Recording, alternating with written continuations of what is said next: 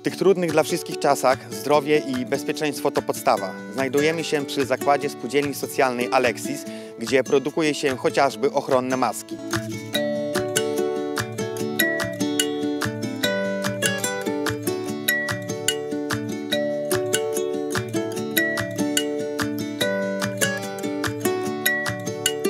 Ta inicjatywa się zrodziła e, dlatego, że dzwonili do nas klienci z, z zapytaniami. My przerwaliśmy swoją produkcję, chcieliśmy pomóc jakby tutaj naszemu lokalnemu środowisku i włączyć się w tą akcję szycia masek. I taki pomysł się stworzył i uważamy, że jeżeli jest potrzeba, to trzeba pomóc. Trudno nam mówić, ile byśmy mogli w stanie wykonać tych ma masek, dlatego że to jest krótka seria. Gdybyśmy poszyli dłużej, to na pewno te ilości by były jakby większe.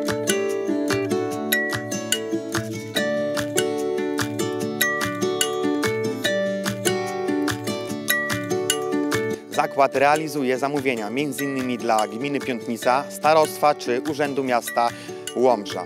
Produkuje się tu dziennie nawet do 1500 masek, które chronią nasze zdrowie, a w tych czasach przecież to właśnie to jest najważniejsze.